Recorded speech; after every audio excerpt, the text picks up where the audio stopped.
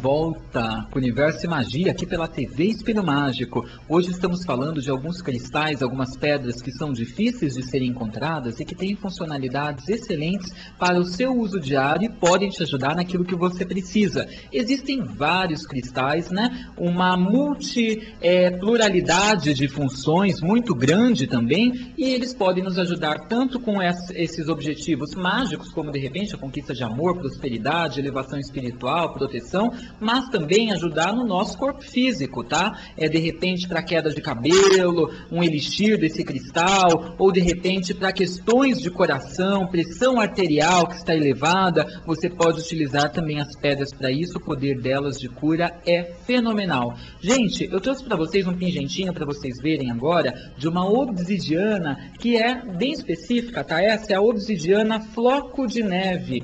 Olhem que bonita, tá? Que linda essa pedra, tá? Uma pedra escura, tá? Como a obsidiana que a gente conhece, negra, mais comum, e flocos de neve, ela tem vários pontinhos brancos, tá? É uma pedra que na funcionalidade mágica dela, ela protege contra magia negra e afasta também os perigos, tá? Então, além de ela nos proteger de repente contra acidentes, contra roubos, contra ações violentas, ela vai fortalecer o nosso poder pessoal, tá? Tá? E vai acalmar tensões, porque toda obsidiana nos coloca de frente com o nosso ego, de frente com as nossas limitações. A obsidiana é uma pedra que, ao contrário de muitas outras que colocam panos quentes, né, é naquilo que a gente está vivenciando, a obsidiana ela fala, opa, não, não, né, você tem que enfrentar isso, isso, isso. Seu ego pede isso. Então ela nos coloca de frente com os medos e os temores e assim a gente enfrenta os problemas e fortalece o nosso poder pessoal, ok? E a obsidiana floco de neve ela vai ser boa principalmente para proteção contra situações de risco, situações de perigo, ameaça que de repente você está vivenciando, está com medo de algum de roubo, é, frequenta locais que normalmente tem muitos roubos ou ações violentas e às vezes não tem o que fazer, que é por conta do trabalho, é caminho, pode utilizar a obsidiana floco de neve, que é muito boa. Os antigos acreditavam que essa pedra ela protegia contra amigos falsos. E realmente, gente faz o teste que ela é muito boa para isso, tá? É uma pedra que protege contra amigos falsos. Tá? O que, que a gente pode falar dela no campo da saúde, tá? Ela minora processos de infecção, ok? Então, de repente, né, é você que costuma, que já aconteceu muito, né, de, de, de se infectar por muitas coisas, vírus, bactérias e tudo mais, ela fortalece o seu sistema de defesa também, impedindo possibilidades de infecções, tá? O elixir dela combate o vírus que está instalado no nosso corpo, ok? Então, de repente, você que está com algum vírus, alguma virose, algo desse tipo, utilize o elixir da obsidiana floco de neve, que você pode ingerir, é uma pedra que você pode preparar essa água com, que é o elixir, com cristal, deixar essa água ser imantada pela pedra e depois ingeri-la, ela vai fortalecer o sistema defensivo e vai minorar a ação do vírus no seu corpo, ok? Além disso, muito boa para proteção contra amigos falsos, muito boa também para afastar os perigos da sua vida. Gente, vamos falar sobre a Jade Oliva. Hoje eu mostrei para vocês o Jade Lemuriano, tá? E agora eu trouxe o Jade Oliva, que é esse verdinho bem bonito, tá? Bem clarinho, que gera amor incondicional, como qualquer Jade, que é um princípio básico do Jade, tá? Da Jade. Mas além disso, a, essa Jade específica, Oliva, ela fortalece a nossa capacidade de perdão, tá? De perdoar as pessoas. Às vezes a gente tem muita dificuldade com relação a isso. E toda Jade vai trabalhar na atmosfera do nosso amor incondicional. Toda Jade. Não importa se aquela verdinha mais conhecida, se estamos falando do Jade lemuriano, se estamos falando deste Jade oliva, mas toda Jade fala de amor incondicional. Esta especificadamente a oliva, ela ajuda no desenvolvimento da capacidade de perdão e é super indicada para aquelas pessoas que não conseguem perdoar, têm muitas dificuldades, fica remoendo o problema o tempo todo. E no nosso corpo físico, para que, que serve a jade? Né? Ela serve serve para expelir cálculos dos rins. Então ela trabalha a nossa parte aí dos rins, tá? O nosso sistema renal, tá? Cura os rins, tanto expele cálculos como vai curá-los, ok? O elixir dela. Então a gente prepara essa água e a gente toma durante 12 dias pelo menos um litro desse elixir por dia para trabalhar a questão dos cálculos nos rins e da cura deles, respectivamente. Ainda falando sobre pedras, eu trouxe hoje para vocês a pedra estrela. Essa já é mais comum, né, gente? Mas mesmo assim, não é tão fácil de achar, tá? É uma pedra toda azulada, cheia de pontinhos luminosos dentro dela, tá? É uma pedra que trabalha a nossa perseverança, a capacidade de perseverar mediante aos conflitos e obstáculos que são impostos na nossa vida, que a gente atrai, que a gente acaba vivenciando. Então, ela dá perseverança para você vencer isso e ela fortalece também a sua estrela interior, fortalece fortalece a sua autoconfiança, o seu brilho próprio. Então, é uma pedra muito boa para a gente utilizar, tá?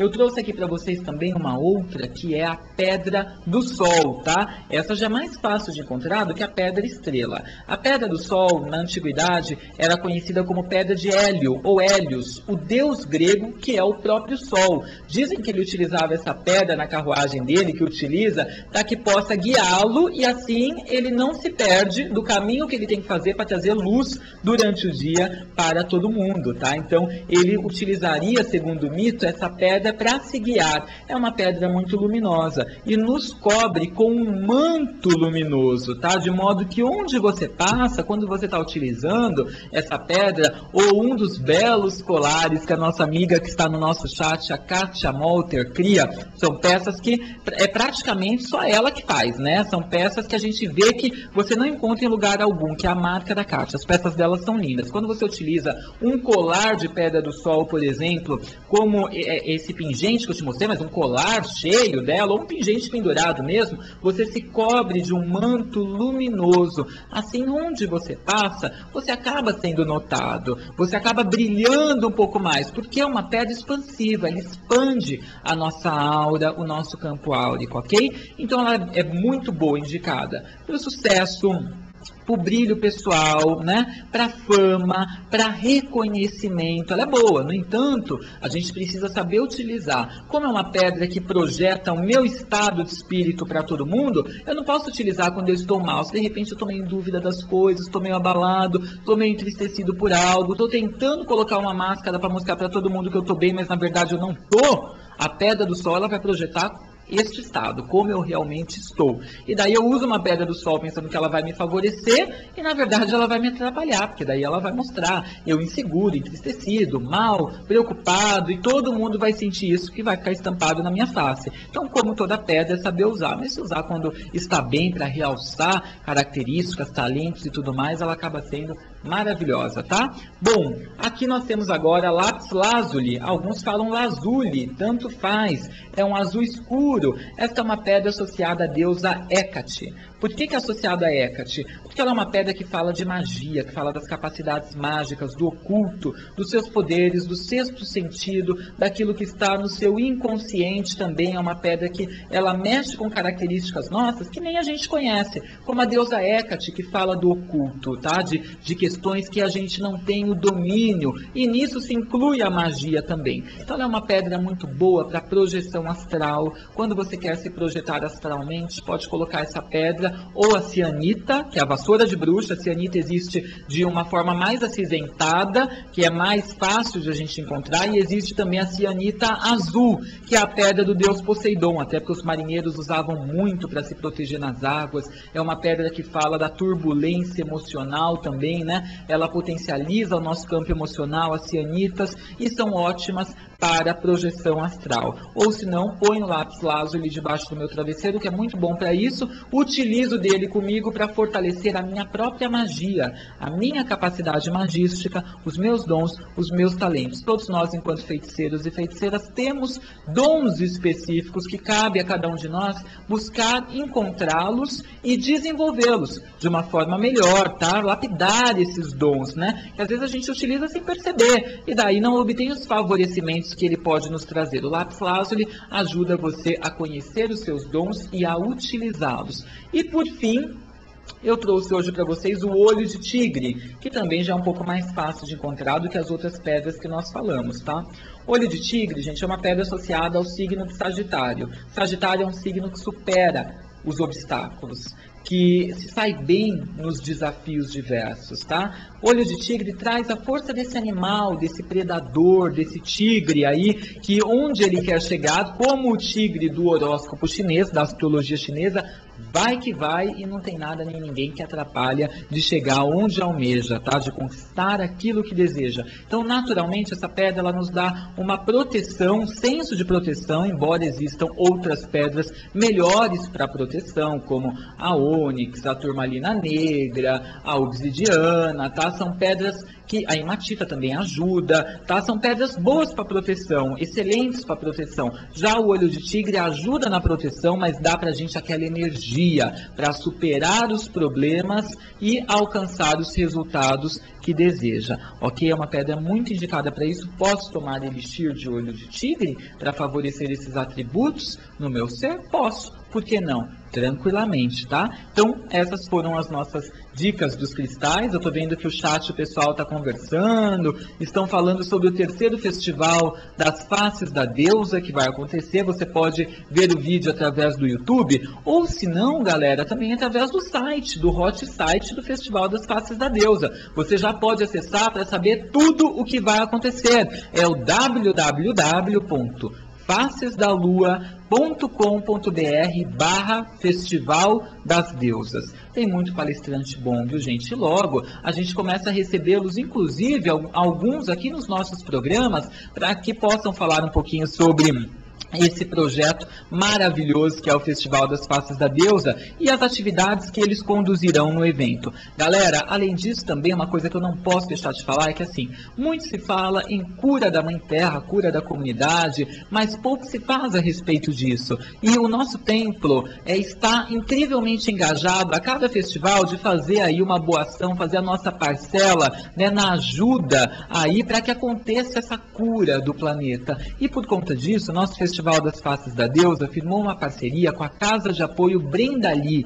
A Casa de Apoio Brendali faz um trabalho maravilhoso em prol das pessoas é, que possuem o vírus do HIV, ok? Então, é, na verdade, ajuda essas pessoas que acabaram de descobrir que existe uma vida maravilhosa para você continuar, né? E não cabe você ficar mal, entristecer, entrar numa depressão, se fechar para o mundo. A Casa de Apoio Brendali faz justamente esse trabalho para que essas pessoas consigam lidar com a doença com mais facilidade, superar isso e ter uma vida maravilhosa ainda, né? Viver anos aí e ter muitas conquistas, ok? Então é, é uma casa que ajuda principalmente pessoas que não têm um apoio familiar, que vivem nas ruas, que passam a morar na casa, são resgatados, vivem na instituição, fazem trabalho de artesanato. É uma instituição que ajuda muito essas pessoas. E daí nós firmamos uma parceria porque estamos falando, né, de celebrar a grande mãe que abraça e acolhe todos os seus filhos, independente do, da cor, da raça, da classe social,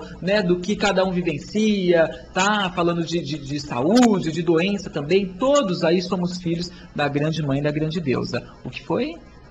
cinco minutinhos, minha produção está avisando, Edu corre, né, porque tem muita coisa para eu falar e só cinco minutinhos de programa. No entanto, gente, é, essa parceria é muito interessante porque a Casa de Apoio Brendali vai estar aqui com um, um stand, né? Eles vão montar um local especial onde os artesanatos que eles promovem estarão sendo vendidos e na entrada, né? Além do convitinho, você tem que trazer também aí donativos, tá? Alimentos que estarão sendo arrecadados para ajudar a Casa de Apoio Brendali, ok? A palestra do sábado, o encerramento de sábado, é a Casa de Apoio Brendali que vai ministrar a palestra. Então, nós teremos vários depoimentos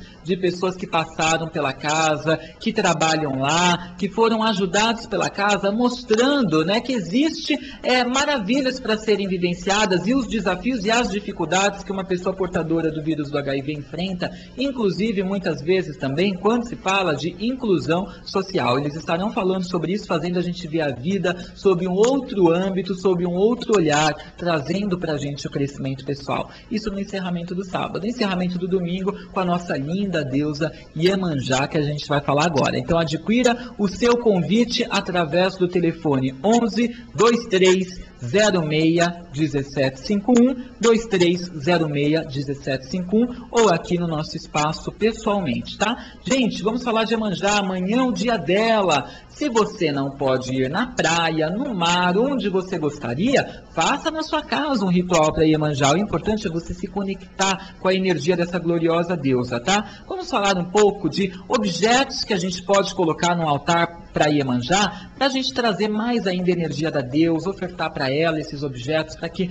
a gente possa agraciá-la, né? E assim obter uma conexão mais forte com ela, tá? Gente, Iemanjá adora espelho, tá? Então tem seu costume de ofertar espelhinhos, assim, tá? Para ela, porque é uma deusa extremamente vaidosa, né? Como uma das faces mais conhecidas do sagrado feminino, né? Ela gosta ali de se embelezar, ela tem a delicadeza da mulher, que é extremamente vaidosa. Então, espelhinhos podem ser ofertados para ela e a gente pode colocar no nosso altar também, tá? Além da imagem de Emanjá, existem imagens dela assim, né? É como ela é mais cultuada, por exemplo, no segmento da Umbanda, tá? E existem imagens dela negra, linda também, com espelho, com seios à mostra, como ela é cultuada no candomblé e originalmente falando, já que Iemanjá é uma deusa africana, tá? É uma deusa de origem africana, deusa das águas dos mares, então é nas imagens que se utiliza no candomblé, porque o candomblé vai primar, né, a essência natural da deusa, tá?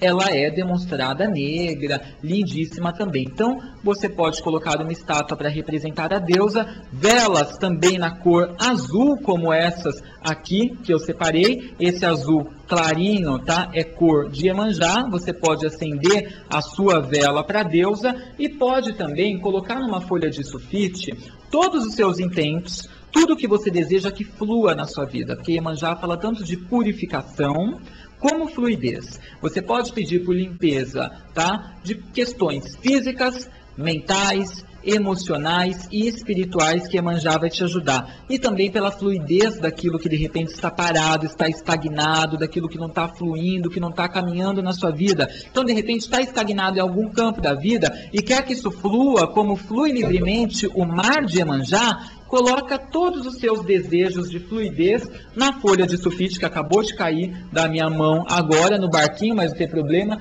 tem um menor aqui que também dá para representar. Isso é muito pequenininho, cabe um pedido né, nesse barco mini, mas tem um grandinho aqui que eu mostrei para vocês que a gente pode fazer. Vamos colocar tudo que a gente quer que flua na nossa vida e montar um barquinho como a gente aprendeu quando a gente era criança. Vamos deixar esse barquinho ao lado da vela azul, que vai ser acesa aí para Iemanjá. Vamos acendê-la para Iemanjá, depois juntar a vela com quais essências eu posso untar essa vela, tá? Eu vou passar essências na vela de cima, da direção do pavio para baixo, atraindo para minha vida a fluidez para esses polos que estão estagnados, tá? Quais essências que eu posso utilizar? Essências associadas a Iemanjá. Por exemplo, alfazema, lavanda é associado a deusa e essência de água marinha também é muito boa. Mas principalmente a lavanda e a alfazema é muito fácil de a gente encontrar, tá? Então a gente pode juntar essa vela aí para a deusa, colocar o nosso barquinho com pedidos ao lado, acender a vela, tá? E quando os pedidos forem realizados, a gente se programa para ir numa praia bem bonita e soltar o barquinho ali no mar, tá? Flores podem ser ofertadas para Iemanjá, principalmente brancas, rosas brancas são muito ofertadas. O pente também, porque ela gosta de se embelezar, pentear os cabelos. Perfumes também podem ser ofertados dessas essências, desses aromas que eu acabei de passar para vocês, tá? Pessoas costumam também fazer um ritual de limpeza, em que se pega um sabonete, vai passando por todo o campo áurico, mentalizando aquilo que você não quer mais para sua vida, aquilo que você quer se libertar. E daí o pessoal tem o costume de ir lá no mar e colocar os é, sabonetes mandando para o mar aquilo que não quer mais, se libertando, pedindo para Iemanjá purificar. É, eu, né, como uma pessoa também muito ligada às causas ambientais, indicaria que ao invés de você fazer isso, vai simbolicamente lá né, no mar, mergulha o sabonete ali na água, mas não deixa ali, depois joga no lixo, tá? Porque nós, enquanto pessoas aí ligadas à natureza e tudo mais, né, a gente tem que zelar pelo nosso meio. Vai colocar um perfume também, não joga o vidro, alguém pode se cortar, o vidro demora muito para se decompor. Então, de repente, vira um pouquinho do perfume, tá? E o resto coloca é, na, numa bacia com água e depois joga fora mesmo no ralo da sua pia, não tem problema, tá? O que importa não é para onde você vai mandar, é a intenção que você deposita numa oferenda, tá? Então coloca o seu, faz o seu barquinho, põe do lado da sua vela e quando você tiver um tempo, vai lá e solta no mar. Decore também o seu altar com concha, se você tiver, aqui eu coloquei hoje várias conchinhas, ó, conchas que você tem, que você traz da praia, decora para Iemanjá, acende incensos para ela, de alfazema, lavanda, faz o seu ritual bonito no começo do dia, já se possível, para você se conectar com ela ao longo do dia inteiro, ok, gente? Eu desejo que Iemanjá abençoe muito a vida de vocês.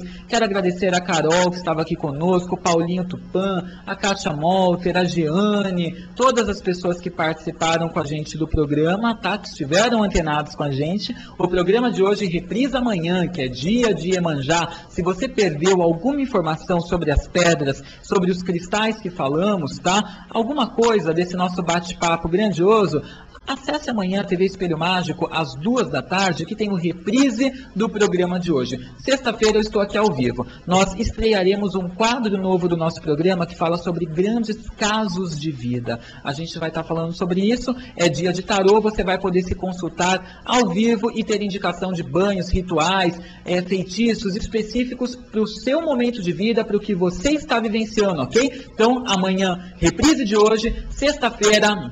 Eu aguardo você ao vivo aqui na nossa TV Espelho Mágico. Agora, em seguida, fiquem com o programa da Pandora de Lis, Caldeirão de Pandora, com culinária mágica, Oráculo da Deusa e, na sequência, Magia na Luz com Samara Designs. Eu fico por aqui, uma excelente quarta-feira para você. Beijos luminosos e bênçãos solares de Apolo a todos. Tchau, tchau.